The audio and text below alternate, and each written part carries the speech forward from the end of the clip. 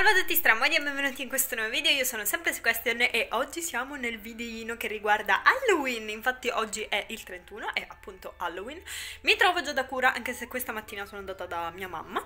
E niente, sto preparando alcune cosine perché quest'anno andremo a fare una festa da amici, io sinceramente non so bene cosa aspettarmi perché è stato tutto molto vago, sta di fatto che ognuno porta qualcosina e io sto portando il vomito di fantasmino con i nacho e una torta salata, la Domers Cake, cioè l'avete vista anche l'anno scorso e l'anno ancora prima, bellissima, un must, ma ora vi faccio vedere mentre preparo. Anche delle pizzettine, pizzettine tipo mostro. Ho fatto la salsa, ve la faccio vedere. Prima di continuare, ovviamente vi ricordo di seguirmi su Instagram, se volete supportare questo canale potete farlo dando un'occhiata al link Coffee, Fiverr e Vinted.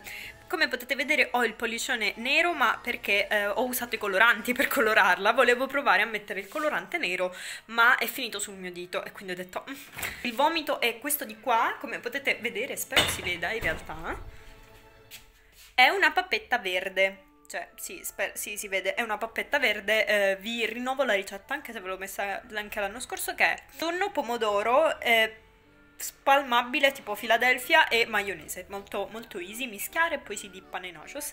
E ovviamente il colorante, cioè non è verde naturale, se no la maionese non era da mangiare. Vado a preparare l'occorrente per la torta salata e vi faccio vedere le cose man mano che faccio. Allora, rosoliamo lo speck perché appunto la torta salata sarà composta un po' come quella che vi ho fatto vedere nell'ultimo video, quindi dove c'è la zucca e qua c'è appunto la purea di zucca, poi speck scamorza, lo speck però lo metterò in metà perché metà userò invece l'affettato del Lidl perché a me lo speck non piace. Gli sarà fatta una decorazione particolare e ovviamente tutta la pasta sfoglia sarà tipo quella comprata del supermercato, è eh, nulla di complicato. Rosolo e poi vi faccio vedere la composizione.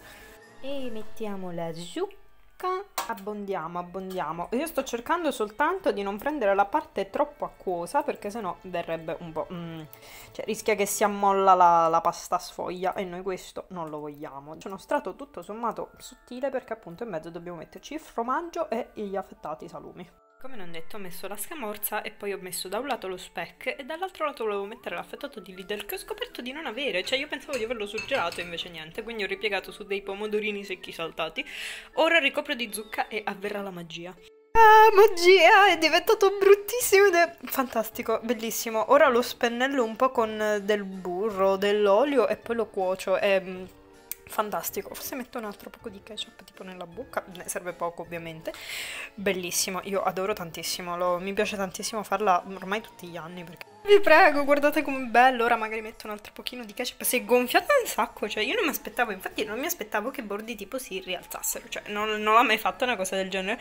O che si gonfiassero così le guance di solito rimane tutto oh scusa scusa ti ho mm, scoppiato l'herpes. Comunque, eh, di solito rimane abbastanza, mentre si è gonfiato molto, ma è bellissimo, io adoro. Ora si deve raffreddare completamente, per quanto sia ovviamente buono mangiarla calda, ma vista che la dobbiamo trasportare, una cosa che abbiamo notato è che questo tipo di torta salata, se trasportato calda, si tende ad ammollare, cioè tutta l'umidità ammolla tutte cose, quindi meglio portarla fredda e mangiarla fredda, al massimo riscaldarla sul momento piuttosto che, eh, se no, perché si, si rovina, povero nostro amico, mentre ho iniziato a fare le pizzette, però ehm, dovrò fare una sorta di un quarto di cottura perché la decorazione con la mozzarella vorrei farla all'ultimo, quindi ehm, ora vi aggiorno.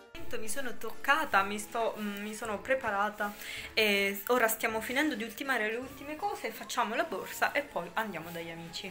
Sta procedendo, fra poco usciamo, ehm, io mi sono messa qui, ora mi sto facendo due fotine e ora conservo le cose da mangiare così siamo pronti per andare. Tante cosine mentre attendiamo gli altri.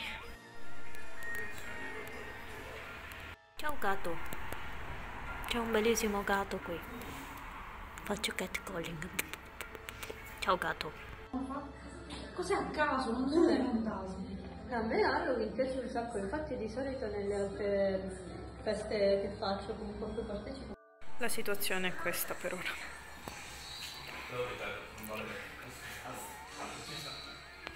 Halloween! Oh oh oh!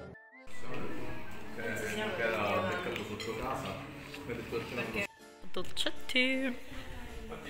Momento dei dolci.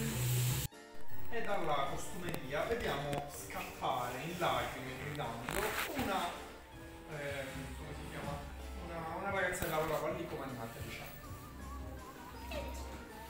noi esterrefatti del, del, di quello che era successo, chiediamo in giro ma che è successo, ma che è successo? Non lo so, non lo so, non lo so.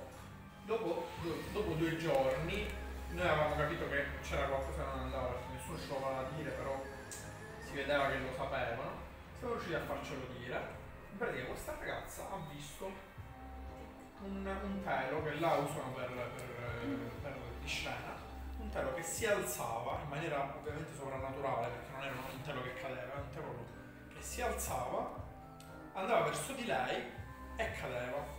E aveva visto pure come l'ombra di una mano, qualcosa di strano, insomma, che non si riusciva a spiegare, quindi era scappata via piangendo. Va bene, allora noi abbiamo iniziato a raccontare questa storia e ogni anno qualcuno ci diceva, "Ma io a me è capitato qualcosa, a me è capitato qualcos'altro. Una volta ci hanno raccontato che una coppia di coniugi erano andati a farsi una settimana là. Al secondo giorno, in pratica succedeva che la, eh, la- il marito veniva preso a niente di notte. Mentre dormiva, iniziava a ricevere Dalla moglie. No, no, Detto così. eh. iniziava a essere preso a legnate. Ah, Cioè, come se ci fosse una presenza che lo, lo, lo prendesse a legnate. E di notte e notte, le tre di notte, avevano chiesto di andare di scala di andarsene per dicendo che è successo questa cosa. Se ne sono andati. Un'altra volta abbiamo incontrato i signori che facevano la sicurezza, che erano due, eh, due signori tipo sulla sessantina, belli pacchiononi, diciamo impostati, non erano dei Ci hanno raccontato pure loro è successa una cosa che non si sono mai potuti spiegare. A quanto pare stavano andando, la Calampiso in pratica si, si inoltra dentro, dentro diciamo, il sottobosco, insomma ci sono delle zone che sono molto eh, distanti dal, dal centro del, del, del villaggio.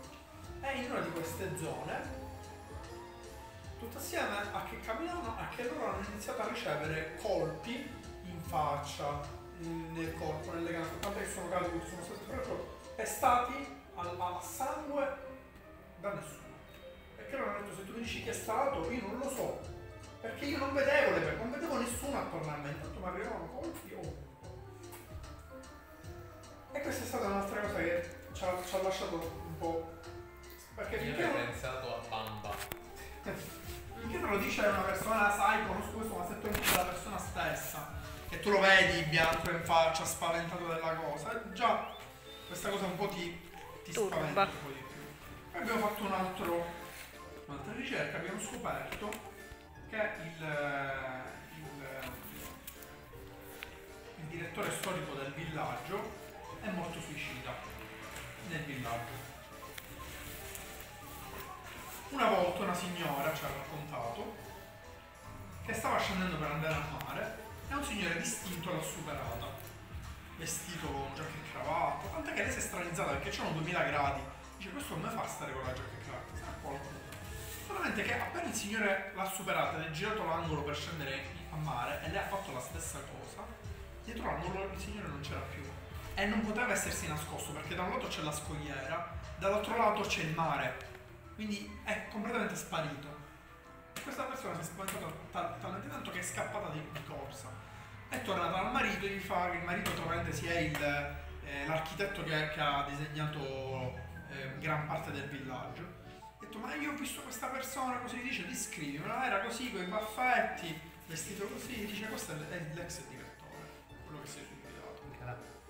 sentito solo dadi, non ho capito come Allora, tu hai questa maledizione in mano Ok. e ha bisogno di un pipistrello e un teschio. Ok. Tirando io qua ho fatto questi dadi. Il pipistrello Ma qualcuno... Prego. Eh, grazie. Uno, due, devo prendere una lezione permanente e poi qualcuno deve tornare indietro sui Ma io pensavo vero che fosse Carola e quindi faccio... Ma mi state facendo uno scherzo per cercare una distanza? Perché aveva i capelli uguali, Quindi sono un po' ricoglionita, però... Allora è tardissimo, siamo appena tornati, sono tipo le due di notte, eh, ci stiamo mm, per buttare così a letto. Eh, alla fine abbiamo passato la serata a giocare, a raccontarci storie di paura, è stato tutto molto carino, forse un po' caotico dal video non si percepisce, però è stato molto divertente. Quindi se il video vi è piaciuto mettete mi piace, commentate, condividete e iscrivetevi al canale. Ciao a tutti!